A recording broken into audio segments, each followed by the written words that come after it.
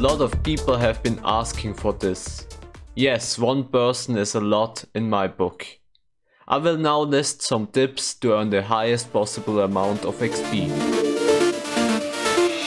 As soon as you reach level 105, you can access the arena manager. And after farming runes for a while, you can get items with runes that give you bonus XP received through questing.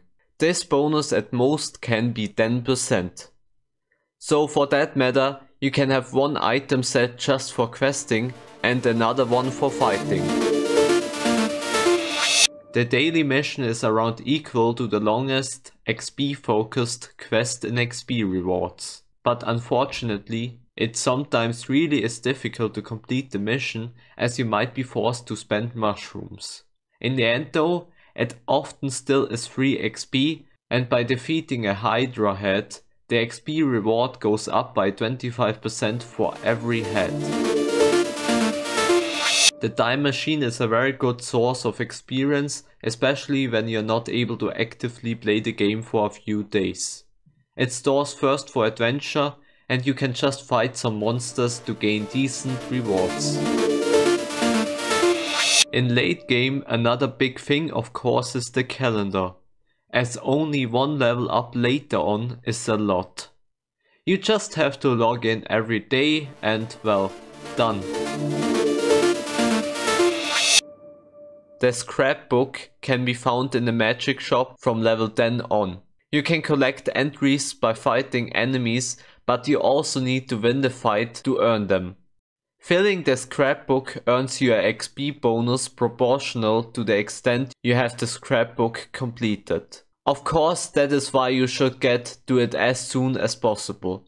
At the beginning you can just blindly fight enemies in the arena but later on it will get more difficult to gain entries.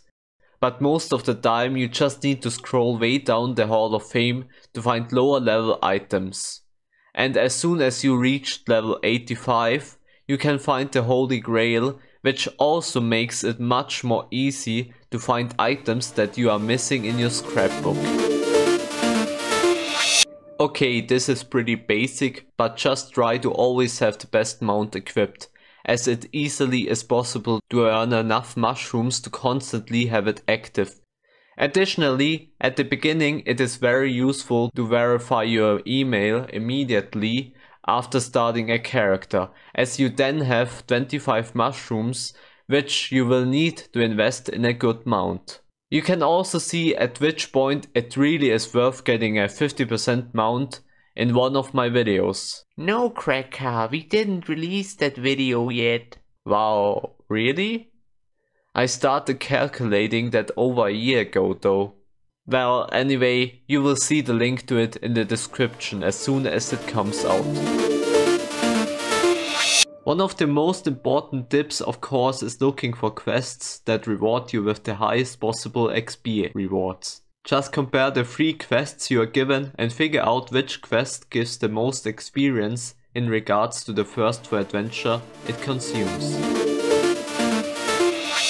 Guilds can grant you one of the largest XP bonuses. Of course you won't be able to always get the max bonus because most of the time it might be difficult to get into such a guild immediately after starting a character. Plus, Guilds are not able to provide that bonus on very young servers, as it takes some time to defeat all raids. So those were all sources of XP. I could also have included the Wheel of Fortune, but to be honest, that is a bit far-fetched, isn't it? And obviously the Wheel of Fortune only provides you with materialistic rewards, but the sole thing I want is love and hot gay sex.